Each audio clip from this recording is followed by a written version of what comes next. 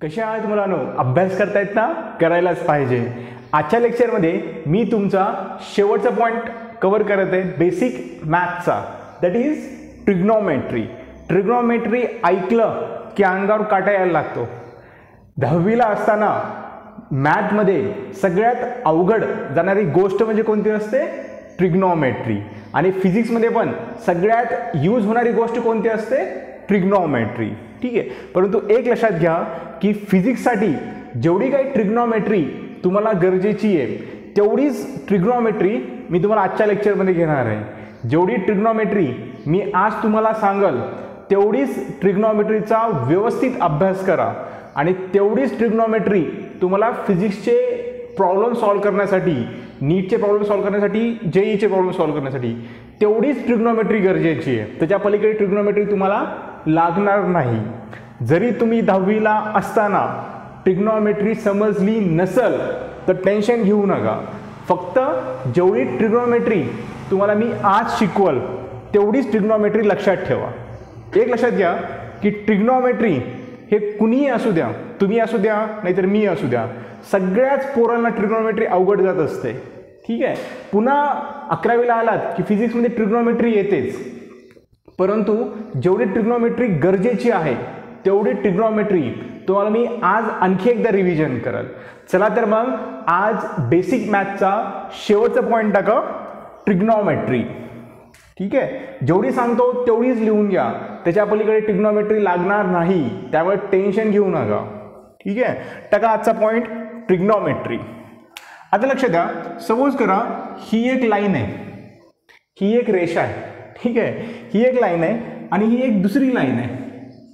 ही दुसरी line suppose करा ही ए line ही बी line ह्या दोघांमधला ह्या दोघांमधला जो असतो त्याला आपण काय म्हणतो? अँगल काय म्हटलं मी? दोन लाईनमधला जो असतो त्याला आपण काय म्हणतो? अँगल आणि अँगल आपण कशाने दाखवत असतो? थिटानं काय म्हटलं मी? दोन लाईनमधला जो असतो त्याला म्हणायचं अँगल आणि अँगल आपण कशाने दाखवत असतो? थिटानं ठीक आहे. आता बघा हा जो अँगल असतो तो अँगल आपण दोन युनिटनं मोजू शकतो. जसं लेंथ आपण मीटरनं पण मोजतो सेंटीमीटरनं पण मोजतो. तसं हा जो अँगल असतो तर तो अँगल आपण दोन युनिटनं मोजू शकतो. ठीक आहे. खाली लिहा. The angle the angle theta can be measured by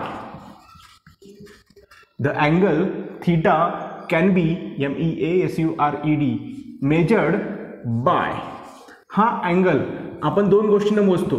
first radian तो अँगल आपण कशामध्ये मोजू शकतो? रॅडियनमध्ये पण मोजू शकतो. आणि तो अँगल आपण कशामध्ये मोजू शकतो? डिग्रीमध्ये पण. अलक्षात दोन लाईनमधला अँगल एक तर आपण रॅडियनमध्ये पण मोजू शकतो किंवा डिग्रीमध्ये पण मोजू शकतो. ठीक आहे. आता बघा रॅडियन आणि डिग्री ह्या दोघांमध्ये रिलेशन काय असतं? रॅडियन आणि डिग्री ह्या दोघांमध्ये रिलेशन काय असतं? आता बघा वन एटी डिग्री एकशे ऐंशी degree equal to equal to pi radian काय म्हटलं मी? एकशे ऐंशी डिग्री इजिकल टू पाय रॅडियन जसं आपण म्हणतो ना एक मीटर इजिकल टू शंभर सेंटीमीटर. तसं one eighty degree equal to काय असतं? पाय रॅडियन हा अँगल आपण दोन युनिटमध्ये मोजू शकतो. एक तर रॅडियनमध्ये मोजू शकतो डिग्रीमध्ये मोजू शकतो. तुम्हाला जर वाटलं तुम्हाला आवडलं रॅडियनमध्ये मोजायचं रॅडियनमध्ये मोजा. तुम्हाला वाटलं डिग्रीमध्ये मोजायचं आहे डिग्रीमध्ये मोजा. तुमच्या मनावर. ठीक आहे. आता बघा एकशे ऐंशी degree is equal to pi radian असतं. त्यानंतर बघा थ्री सिक्स्टी डिग्री तीनशे साठ degree is equal to two pi radian समजलं? एवढ्या दोनच गोष्टी लक्षात ठेवा. One eighty degree is equal to pi radian three sixty degree is equal to pi radian समजलं इथपर्यंत? कळालं इथपर्यंत? ठीक आहे. लिहून घ्या पटकन आता. आता बघा next next point next point नाही आहे कन्सेप्ट सांगत आहे मी तुम्हाला. सपोज करा ही तुमची आहे एक्स ॲक्सिस हा तुमचा काय?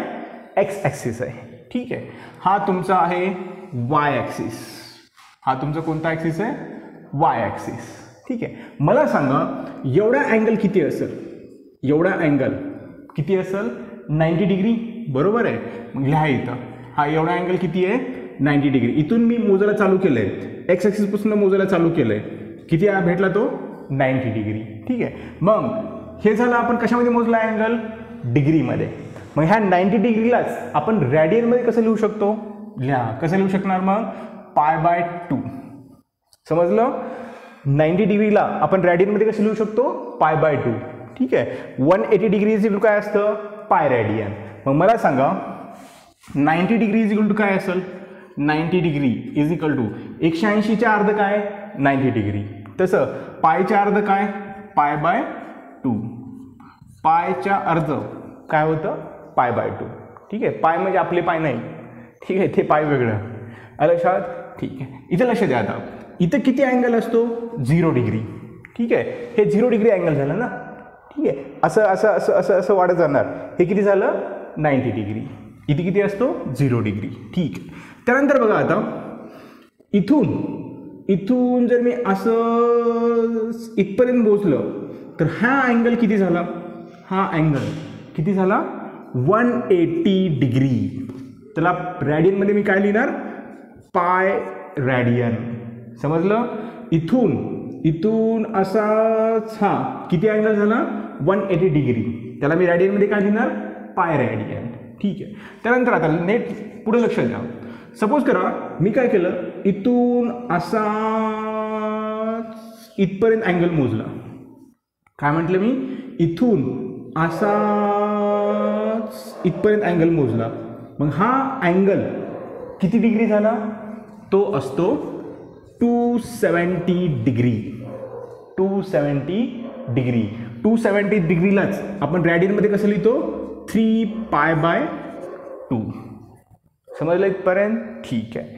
त्यानंतर बघा मी काय करतो आता इथून असा असा इतका अँगल मोजतो. काय म्हटलं मी? इथून स्टार्ट करतो असा इथपर्यंत अँगल मोजतो. त्याच पॉईंटला येतो पुन्हा मी. मग तो किती डिग्री अँगल झाला? तो असतो थ्री सिक्स्टी डिग्री आणि त्याला आपण रॅडियनमध्ये काय लिहित असतो? टू पाय. समजलं? एवढा अँगल किती झाला? नाईंटी डिग्री त्यानंतर इथून इथपर्यंत ह्या रेषेपर्यंत अँगल किती झाला? वन एटी डिग्री इथून इथपर्यंत अँगल किती झाला? टू सेवन्टी डिग्री आणि पूर्ण वर्तुळाचा अँगल किती असतो?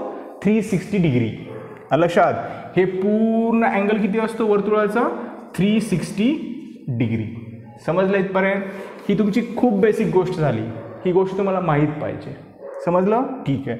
मला सांगा ह्या दोघाच्या मध्ये ह्या दोघाच्या मध्ये मी जर अशी एक लाईन काढली एक्झॅक्टली मध्ये ह्या झिरो डिग्री आणि नाईंटी डिग्री ह्या दोघाच्या मध्ये बरोबर एक मी एक लाईन काढली तर मला सांगा हा अँगल किती होईल?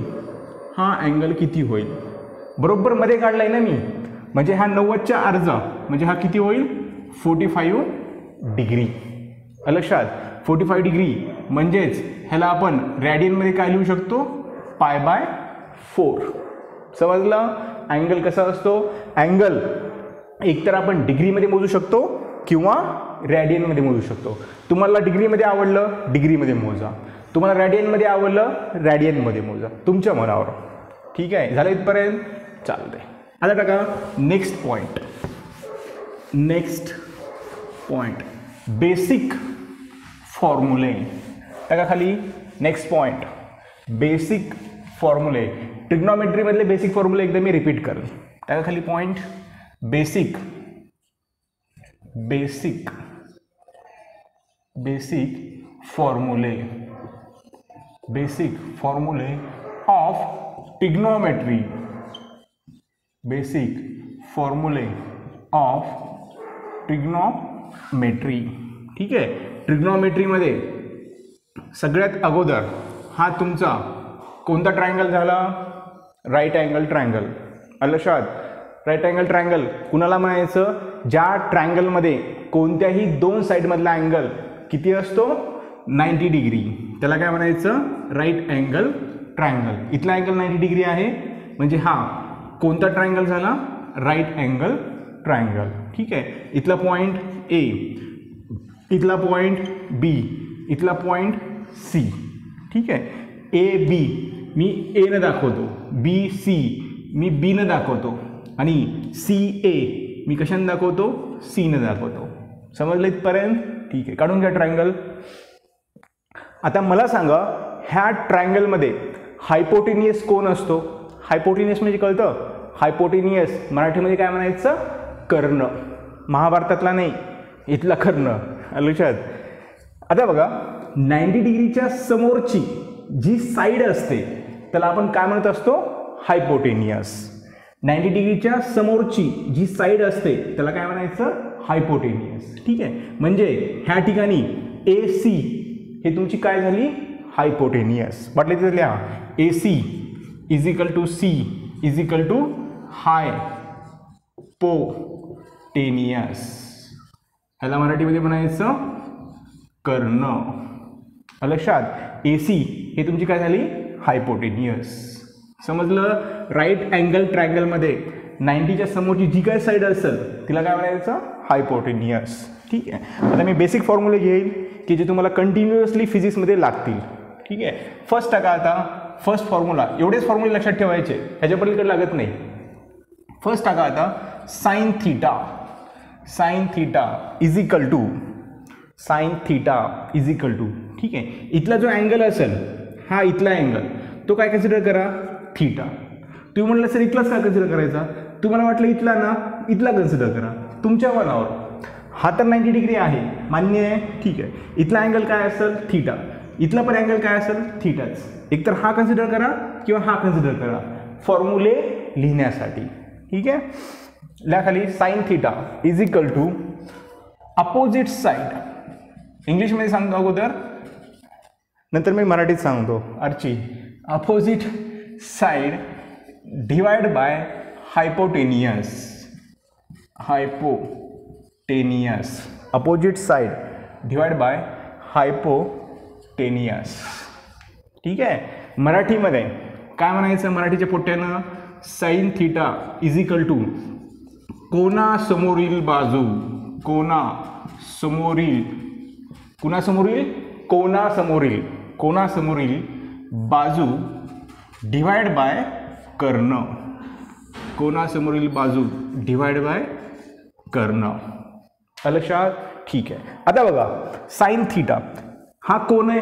हा अँगल आहे. ह्याच्या समोरील बाजू कोणती आहे?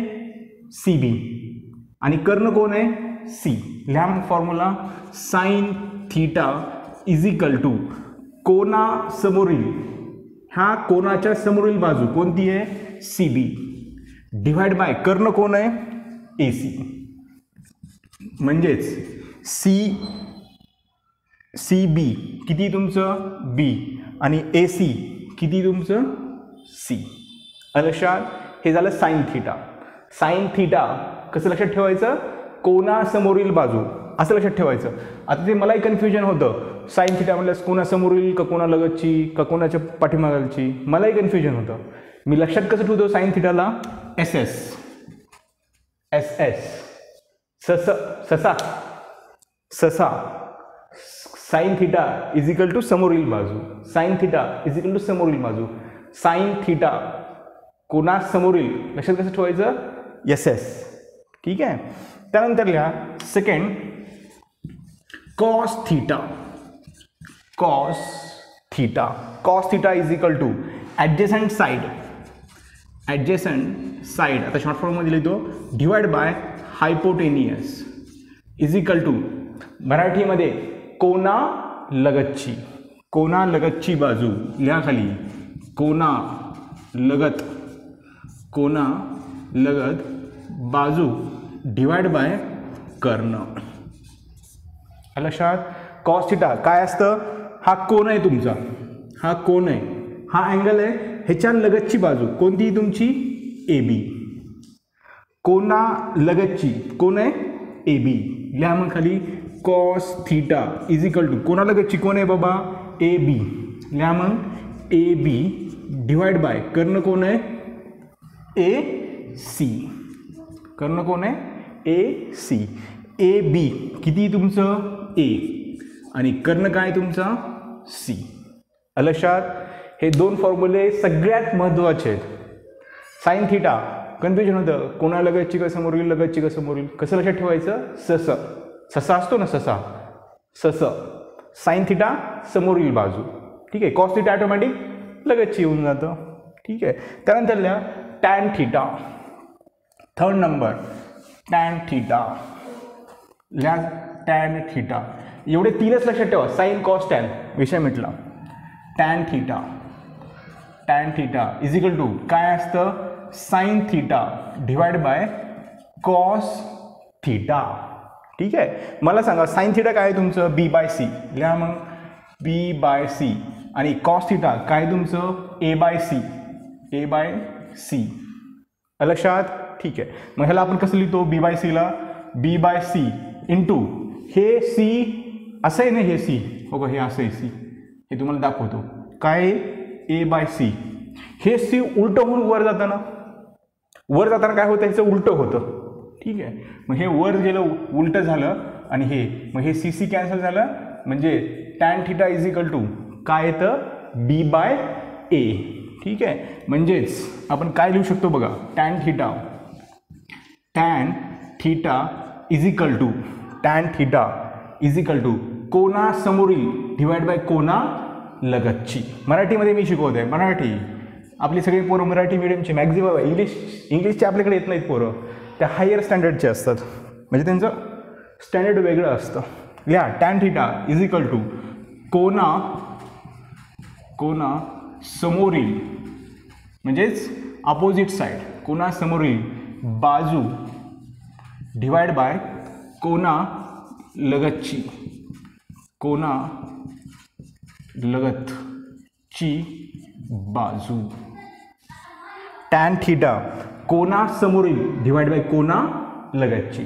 Opposite side divide by adjacent side जे इंग्लिशचे पोट्टे आहेत त्यांनी लिहा. अपोजिट अपोजिट साईड पुन्हा म्हणते ना आम्ही इंग्लिशचे म्हणजे सेमी सेमीचे ठीक आहे?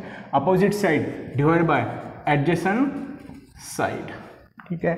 अलशात बेसिक फॉर्म्युल्यामध्ये एवढे तीन फॉर्म्युले महत्त्वाचे आहेत. साईन सस समोरील डिवाइड बाय कर्ण. कॉस लगतची ॲडजसन डिवाइड बाय कर्ण म्हणजे हायपोटेनियस आणि टॅन समोरील डिवाइड बाय लगतची अपोजिट डिवाइड बाय ॲडजस्टंट ठीक आहे? इथपर्यंत लिहून घ्या. त्यानंतर फोर्थ फॉर्म्युला टाका आता. Fourth formula. कुठला फोर्थ फॉर्म्युला लागते बेसिक फॉर्म्युला लागतात. फिजिक्ससाठी ट्रिग्नोमेट्री एवढं कॉम्प्लिकेटेड नाही लागत.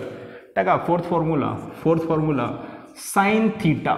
Sine square theta plus cos square theta is equal to one. त्यानंतर fifth formula. Sec square theta sec square theta is equal to one plus tan square theta sec square theta is equal one plus tan square theta त्यानंतर six number cosec cosec square theta cosec square theta is equal to one plus cot square theta ठीक आहे? आणि त्यानंतर टाका seventh number formula एवढेच फॉर्म्युले use होतील बेसिकमध्ये ह्याच्या पलीकडे काही यूज होणार नाही. त्यामुळे टेन्शन घेऊ नका. नाही तर ट्रिग्नोमेट्रीला मी पण भीतो मी पण भीत होतो दहावीला असताना. आता नाही भीत. एवढे एक लेक्चर अटेंड करा जगातलं कुठलंच पोरगं भीत नाही ट्रिग्नॉमेट्रीला लक्षात. सहावं सातवं टाका आता. Sine two theta is equal to sine two theta is equal to two sine theta cos theta two sine theta cos theta हा डबल अँगल फॉर्म्युला आहे. हा महत्त्वाचा आहे. हा खूप वेळेस लागतो. Sine two theta is equal to two sine theta cos theta आणि आठ टाका. Cos two theta is equal to cos square theta minus sine square theta cos square theta minus sine square theta एवढे basic आठ फॉर्म्युले लागतात. तेवढे व्यवस्थित अभ्यास करा. ठीक आहे? हे आठ फॉर्म्युले तुमचे बेसिक झालं. झालं इथपर्यंत. आता टाका. सेकंड पॉईंट सेकंड पॉईंट काय बाबा सेकंड पॉईंट सेकंड पॉईंट टाका आता. Trigonometric ratio of standard angle second point टाका. हे माहिती आहे तुम्हाला. Trigonometric ratio of standard standard angle कोणकोणते स्टँडर्ड अँगल झिरो डिग्री तर thirty degree sixty degree forty five degree ninety degree one eighty degree three sixty degree हे standard angle आहेत. ठीक आहे? Trigonometry ratio of standard angle लिहा पटपट. फक्त sine theta आणि कॉस टू थिटा हे दोन फॉर्म्युले लक्षात ठेवा. बाकी सेक कोसेक नाही लक्षात राहिलं तरी चालतं. पण साईन टू थिटा आणि कॉस टू थिटा हे दोन उपयोगाचे आहेत.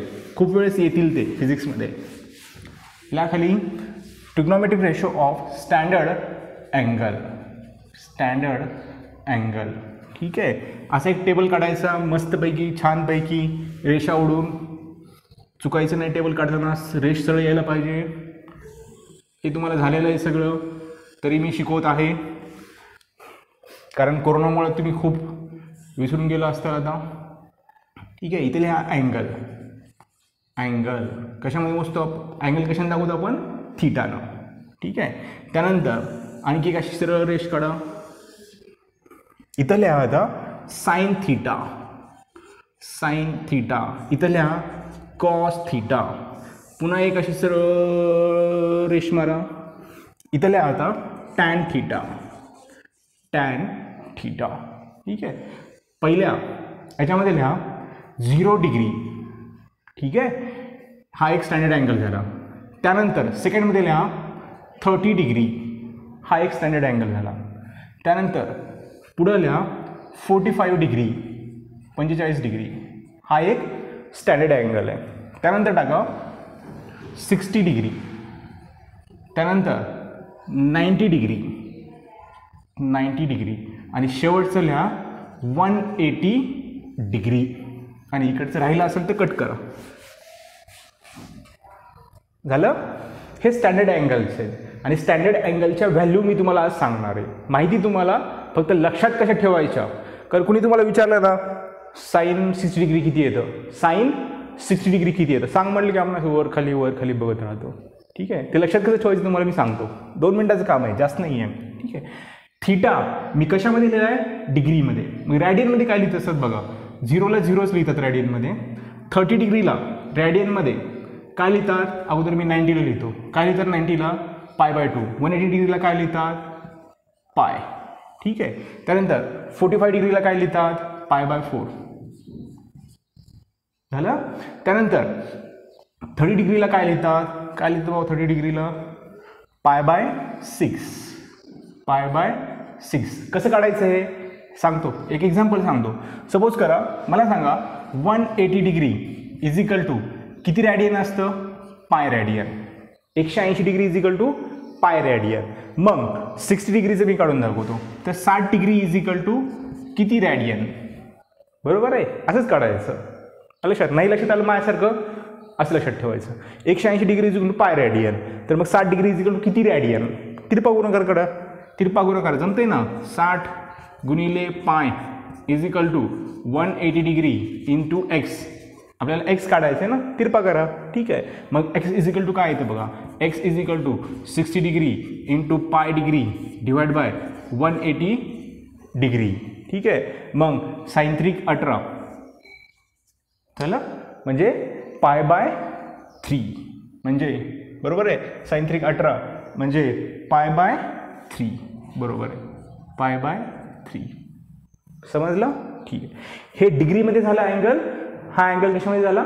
रॅडियनमध्ये समजलं इथपर्यंत? ठीक आहे. आता बघा ह्या व्हॅल्यू लक्षात कशा ठेवायच्या? म्हणजेच साईन साईन झिरो डिग्री किती येतं? हे आपण कसं काढतो? किंवा कसं लक्षात ठेवायचं बघा. सगळ्यात अगोदर इथं झिरो लिहायचं. ठीक आहे? झिरोच्या नंतर इथं लिहायचं वन बाय टू. इथं लिहायचं one by root two. Zero one by two one by root two. इथपर्यंत लक्षात राहतं? पुढं लिहायचं रूट थ्री बाय टू. ठीक आहे? आणि त्याच्या पुढं लिहायचं साईन नाईन्टी. वन करायचं. कसं लक्षात ठेवायचं बघा? असं लक्षात ठेवायचं. One by two. पहिलं वन बाय टू लिहायचं. वन बाय टू लिहिलं पुढचं काय करायचं? रूटमध्ये टू लिहायचं. रूटमध्ये टू लिहायचं. झालं इथपर्यंत. पुढं काय करायचं? रूट थ्रीमध्ये टू लिहायचं. रूट थ्रीमध्ये टू. झालं इथपर्यंत? ठीक आहे. आणि पुढं काय करायचं? वन करायचं. असंच लक्षात ठेवा. उगं ते फिंगरची मेथड आणि हे ते लय कॉम्प्लिकेटेड गोष्टी आहेत. तसलं काहीच करत बसू नका.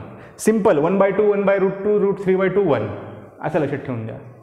चला इथपर्यंत? ठीक आहे. आता कॉससाठी लिहिताना काय लिहायचं? उलटं करायचं. म्हणजे इथं काय येणार? वन. त्यानंतर हे इथं. हे काय येणार? Root three by two. त्यानंतर इथं काय येणार? इथलं इथंच येणार. One by root two. इथलं इथं जाणार. One by two. इथलं इथं येणार. समजलं? तुम्हाला जर कुणी विचारलं की बाबा अरे सांग रे बाबा आता तू कॉस फोर्टी फाईव्ह डिग्रीची व्हॅल्यू किती असते? कॉस फोर्टी फाय डिग्रीची व्हॅल्यू किती असते? तुम्ही किती सांगणार? कॉस फोर्टी फाईव्ह डिग्रीची व्हॅल्यू किती असते? वन बाय रूट टू समजलं इथपर्यंत? ठीक आहे. आता हे झालं साईनचं आणि कॉसचं आता टॅनच्या व्हॅल्यू कशा काढायच्या बघा? टॅनच्या व्हॅल्यू मला सांगा टॅन इज इक्वल टू काय असतं? Tan theta is equal to काय असतं? Sine theta divide by cos theta इथपर्यंत कळतं? Tan theta is equal to sine theta divide by cos theta तुम्हाला जर म्हटलं कुणी की टॅन झिरो डिग्रीची व्हॅल्यू सांग. काय म्हटलं मी? तुम्हाला जर कुणी म्हटलं कुठल्या पोरानं टॅन डी झिरो डिग्रीची व्हॅल्यू सांग. तर तुम्ही टॅन झिरो डिग्रीची व्हॅल्यू कशी काढायची? Tan zero degree is equal to sine zero degree divide by cos zero degree लक्षात मग sine zero degree sine zero degree इथे समोरच लिहितो मी. साईन झिरो डिग्री किती असतं? झिरो टॅन झिरो डिग्री किती असतं? वन झिरो बाय वन काय येत असतं? काय येत असतं? झिरो बाय वन झिरो येत असतं. म्हणजे साईन झिरो डिग्रीची व्हॅल्यू किती आली? झिरो ठीक आहे. आणखी एक काढून दाखवतो. टॅन फोर्टी फाय डिग्रीची व्हॅल्यू काढून दाखवतो. टॅन फोर्टी फाईव्ह कितीची? Tan forty five tan forty five डिग्रीची value काढा म्हटलं. तर कशी काढायची? पाठ करायचं नाही. मी जोपर्यंत शिकवत ना तोपर्यंत फिजिक्समधली कुठलीच गोष्ट पाठ करायची नाही. लिहा टॅन फोर्टी फाय डिग्री काय येतं बघा? Sine forty five degree divide by cos forty five degree ठीक आहे? साईन फोर्टी फाय डिग्री किती व्हॅल्यू सांगा मला? वन बाय रूट टू आणि कॉस फोर्टी फाय डिग्रीची व्हॅल्यू किती ती सांगा? वन बाय रूट टू बरोबर आहे? One by root two one by root two cancel म्हणजे काय आलं? वन टॅन फोर्टी फाय डिग्रीची व्हॅल्यू किती आली? वन ठीक आहे. तसं थर्टी डिग्रीची काढा. ही ती वन बाय ही किती ती? वन बाय रूट थ्री ठीक आहे. त्यानंतर हे किती येते बघा? रूट थ्री ठीक आहे. आणि ही काय येते बघा? इन्फिनिटी लक्षात? इतक्या व्हॅल्यू लक्षात ठेवायच्या. कशी लक्षात ठेवायची? फक्त साईनच्या व्हॅल्यू लक्षात ठेवायच्या. Zero one by two one by root two root three by two आणि वन. समजलं? ठीक आहे. आता इकडच्या बघा. इकडच्या व्हॅल्यू कशा लक्षात ठेवायच्या इथलं झिरो इथलं मायनस वन इथलं zero zero minus one zero one eighty डिग्रीची value sine one eighty डिग्रीची value zero sine cos one eighty डिग्रीची value minus one आणि टॅन वन एटी डिग्रीची व्हॅल्यू झिरो झालं इथपर्यंत? ठीक आहे. हे झालं तुमचा सेकंड पॉईंट आता टाका थर्ड पॉईंट जेवढं मी ट्रिग्नॉमेट्री सांगतो तेवढीच लक्षात ठेवा. त्याच्या पलीकडे लक्षात ठेवायची काहीच गरज नाही. तेवढीच महत्त्वाची ट्रिग्नॉमेट्री आहे. फिजिक्ससाठी तेवढीच बस झाली.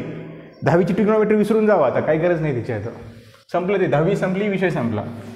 टाका आता third point sine of trigonometric function टाका next point sine of third point sine of आणि हा सगळ्यात महत्त्वाचा पॉईंट आहे. ठीक आहे? हा पॉईंट लवकर लक्षात येत नाही पोट्यांना sine of trigonometric function sine of trigonometry function sine of trigonometric function ठीक आहे? साइन ऑफ ट्रिग्नॉमेट्रिक फंक्शन एक डायग्राम काढून घ्या खाली. ती महत्त्वाची डायग्राम आहे. साईन ऑफ ट्रिग्नॉमेट्रिक फंक्शन अगोदर डायग्राम काढून घ्या मग नंतर सांगतो. हे किती आहे? नाईंटी डिग्री आलं इथपर्यंत त्यानंतर हे किती आहे? वन एटी डिग्री त्यानंतर हे किती आहे? टू सेवन्टी डिग्री त्यानंतर हे किती आहे? झिरो डिग्री आणि थ्री सिक्स्टी डिग्री ठीक आहे? अगोदर डायग्राम काढून घ्या. मग मी एक्झाम्पल घेऊन टाकल तुमचे. डायग्राम व्यवस्थित काढून घ्या. आता लक्षात द्या की जेवढे काही फंक्शन किंवा जेवढे काही ट्रिग्नॉमेट्रिक फंक्शन पहिल्या क्वार्टरमध्ये असेल ह्याला टाका फर्स्ट क्वार्टर त्यानंतर ह्याला टाका सेकंड क्वार्टर त्यानंतर ह्याला टाका थर्ड क्वार्टर आणि ह्याला टाका फोर्थ क्वार्टर फोर्थ क्वार्टर ठीक आहे? जेवढे काही ट्रिग्नॉमेट्रिक फंक्शन फर्स्ट क्वार्टरमध्ये असतील म्हणजेच सगळेच्या सगळे ट्रिग्नॉमेट्रिक फंक्शन जर फर्स्ट क्वार्टरमध्ये असतील तर ते सगळे पॉझिटिव्ह असतात. लिहा इथं. ऑल आर पॉझिटिव्ह सांगतो मी एक्झाम्पल घेतलं की समजून जाईल. ऑल आर पॉझिटिव्ह ठीक आहे? Second क्वार्टरमध्ये only only sine is positive किंवा ओनली साईन पॉझिटिव्ह करा. ते इतिहास लिहित बसत नाही मी. Only sine is positive third क्वार्टरमध्ये कोण असतं? ओनली टॅन इज पॉझिटिव्ह आणि शेवटच्या क्वार्टरमध्ये फक्त कॉस इज पॉझिटिव्ह ओनली फक्त कोण? फक्त कॉस ओनली कॉस पॉझिटिव्ह लक्षात लिहून घ्या. मग तुम्ही म्हणता सर ह्याला लक्षात कसं ठेवायचं? इथं फर्स्ट क्वार्टरमध्ये जेवढे काही ट्रिग्नोमेट्रिक फंक्शन असतील ते पॉझिटिव्ह असतील. सेकंड क्वार्टरमध्ये फक्त साईन फंक्शन पॉझिटिव्ह असतं. थर्ड क्वार्टरमध्ये फक्त टॅन फंक्शन पॉझिटिव्ह असतं. आणि फोर्थ क्वार्टरमध्ये फक्त कॉस फंक्शन पॉझिटिव्ह असतं. मग ह्याला लक्षात कसं ठेवायचं बघा? ह्याला लक्षात ठेवण्यासाठी एक मी ट्रिक सांगतो तुम्हाला. काय ट्रिक आहे बघा? After after school to college after school to college after आफ्टरचं A आफ्टरचं ए फर्स्ट क्वार्टरमध्ये ऑल आर पॉझिटिव्ह आफ्टरचं ए सायन्सचं स्कूल सेकंड क्वार्टरमध्ये फक्त साईन फंक्शन काय असतं? पॉझिटिव्ह असतं. थर्ड क्वार्टरमध्ये फक्त टॅन फंक्शन पॉझिटिव्ह असतं. आणि फोर्थ क्वार्टरमध्ये फक्त कॉस फंक्शन पॉझिटिव्ह असतं.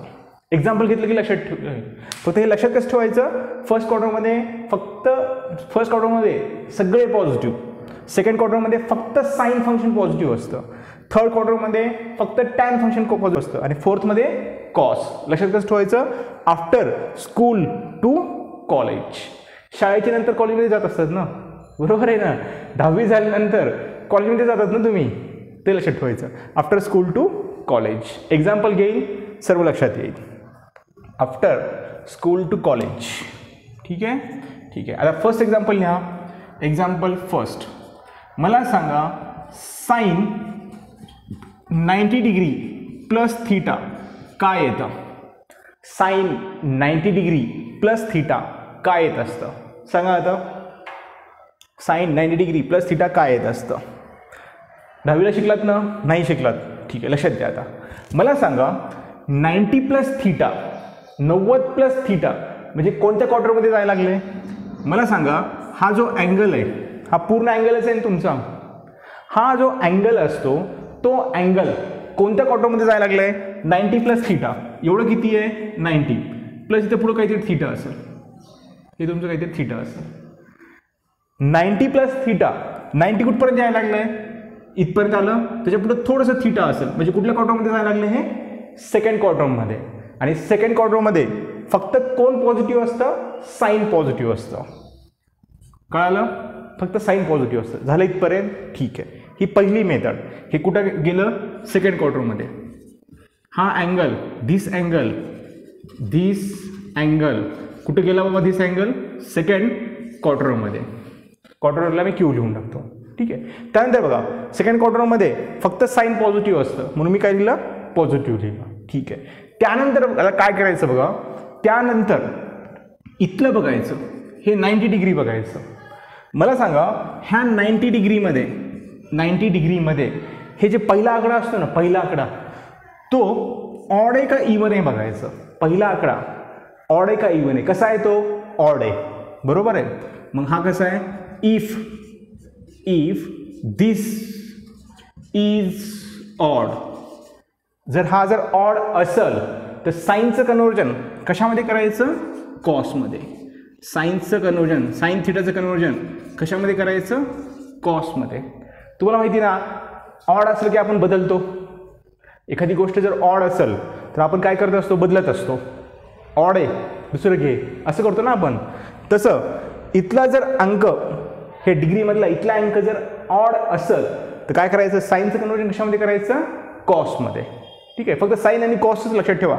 बाकी टॅन फिनची गरज नाही पडणार तुम्हाला. फक्त साईनचं लक्षात ठेवा. ठीक आहे? मग मी काय करणार? कॉस थीटा समजलं? Sine ninety degree plus theta is to काय असतं?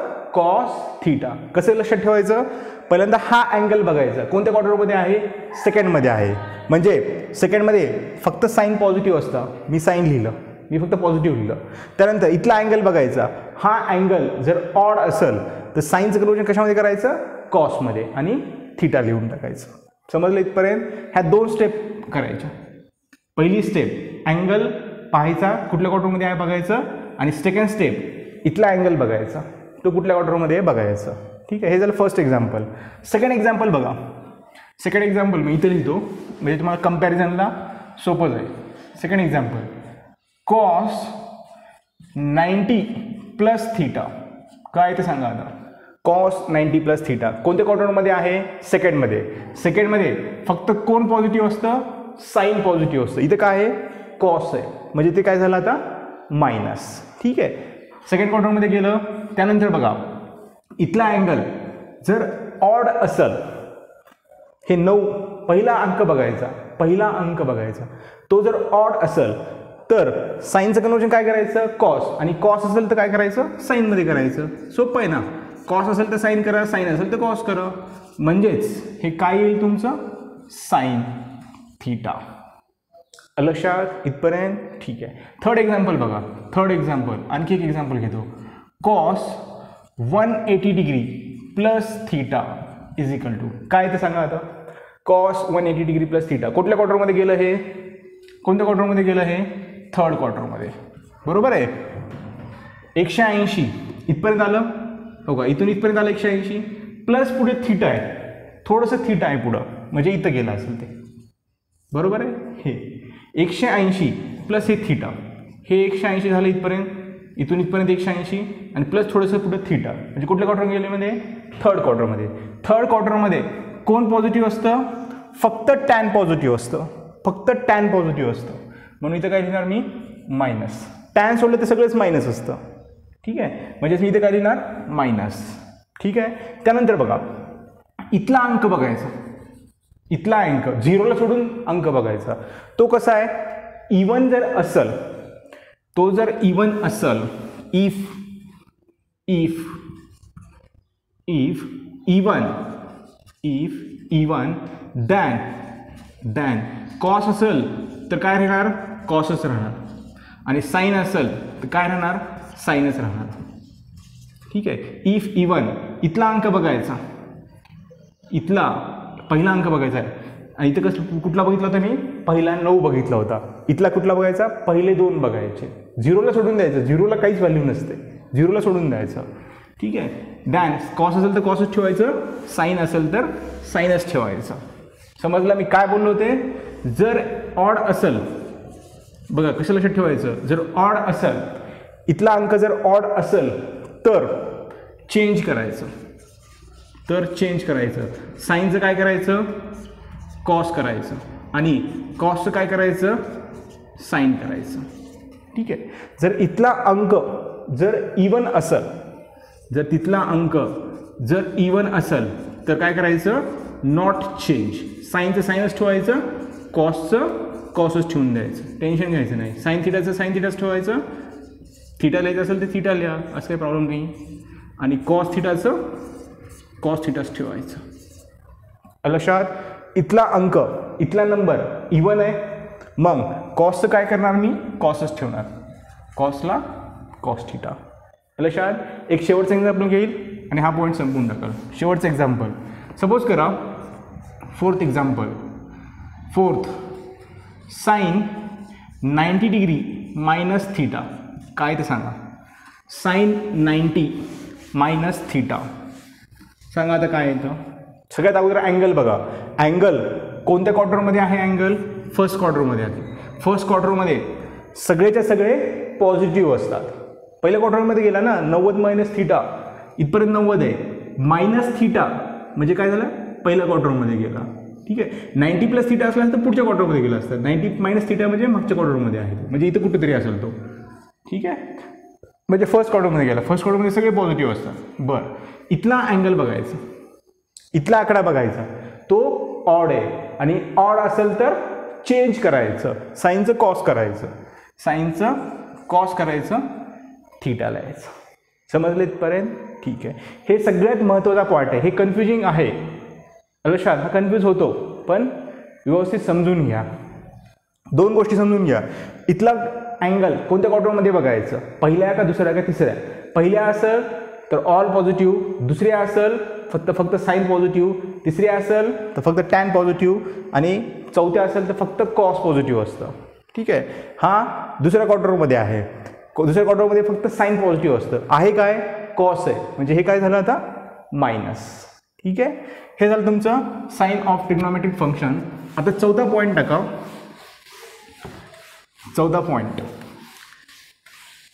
फोर्थ पॉईंट बेसिक फॉर्मुले बेसिक एक्सपान्शन फॉर्मुले फोर्थ पॉईंट टाका basic basic expansion basic expansion फॉर्मुले हे फॉर्मुले मी दोनच फॉर्मुले सांगाल. ते दोन फॉर्मुले पासनं चार फॉर्म्युले होतात. पहिल्यांदा दोन फॉर्म्युले सांगाल मी. ठीक आहे दोन फॉर्म्युले बघा मी कसं सांगतो ते. तसंच लक्षात ठेवायचं टेन्शन घ्यायचं नाही. First sine first sine A plus minus B sine A plus minus B sine A plus minus B ठीक आहे ह्याला कसं लक्षात ठेवायचं बघा आता.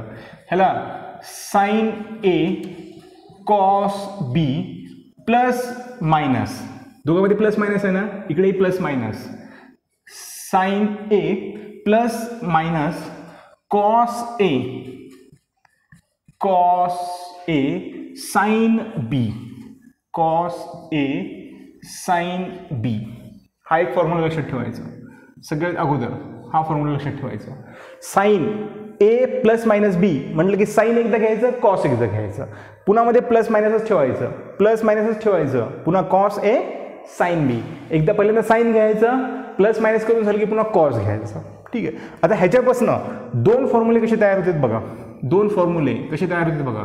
Sine A plus B is equal to sine A cos B plus इथं प्लस आहे म्हणून plus cos A sine B.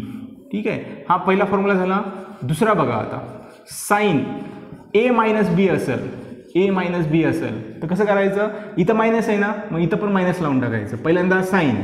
Sine A cos B. मायनसला minus cos A sine B. Cos A sine B. लक्षात हे झालं साईनसाठीचं. आता कॉससाठीचा formula बघा. कॉससाठीचं कसं लक्षात ठेवायचं? Cos A plus minus B is equal to कॉसचा formula कशा लक्षात ठेवायचं बघा? एक्सपान्शन फॉर्म्युला कॉसचा सगळ्यात अगोदर कॉस ए कॉस बी करायचं. कॉस ए कॉस बी इथं प्लस मायनस आहे ना ह्याच्या उलटं करायचं. कॉसमध्ये उलटं करायचं. Minus plus sine A cos B sine A sine B sine A sine B ठीक आहे. सेम ह्याचे पण दोन फॉर्म्युले कसे तयार करायचे बघा. दोन फॉर्म्युले फर्स्ट फॉर्म्युला कॉस एकच यूज करा. Cos A plus B is equal to cos A cos B इथं प्लस असेल ना तर इकडं मायनस इथं बघा. वरी प्लस आहे ना इथं काय झालं आहे मायनस ठीक आहे. म्हणजे इथं काय करायचं? Minus sine A sine B आणि दुसरं cos A minus B is equal to इथं मायनस असेल ना इथं काय करायचं? प्लस बघा इथं. इथं मायनस होतं ना इथं काय केलं तर मी प्लस म्हणजेच cos A cos B plus sine A sine B लक्षात हा फॉर्म्युला लक्षात ठेवायची गरज नाही. हा नाही आहे हा नाही आहे हा नाही आहे बेसिक हे दोन फॉर्म्युले लक्षात ठेवा. हे फक्त दोन फॉर्म्युले लक्षात ठेवा. हा आणि हा. त्याच्यावरून चार फॉर्म्युले तयार करायचे. Sine A plus B sine A cos B plus minus cos A sine B पहिल्यांदा साईन घ्या नंतर कॉस घ्या. ठीक आहे? इथे चुकू नका.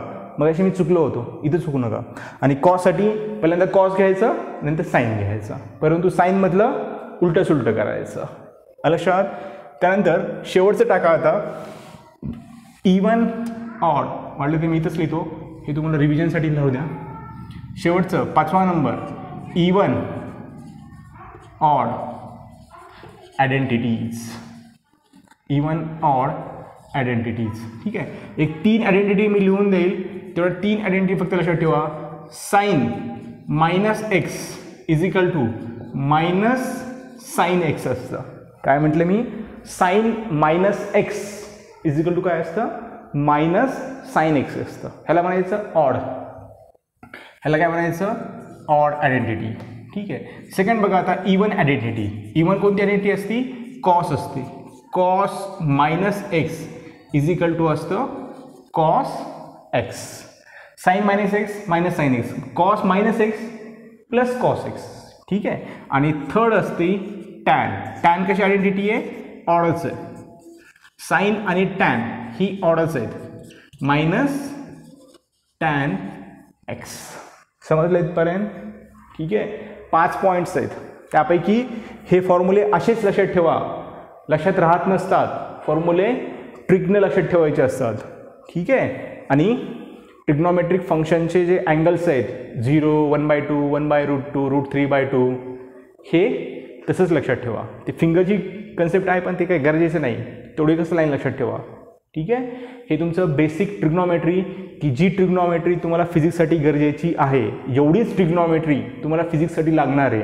ही ट्रिग्नॉमेट्री हे फॉर्म्युले जर तुमच्या लक्षात नसतील तर फिजिक्सचे डेरिव्हेशन सॉल्व होत नाहीत किंवा प्रॉब्लेम सॉल्व्ह होत नाहीत. लक्षात? त्यामुळं व्यवस्थित एकदा रिव्हिजनसाठी हे लेक्चर पूर्ण बघा. हे लेक्चर जर जमलं नाही तर फिजिक्समधले प्रॉब्लेम सॉल्व्ह होणार नाहीत. लक्षात अभ्यास करत राहा.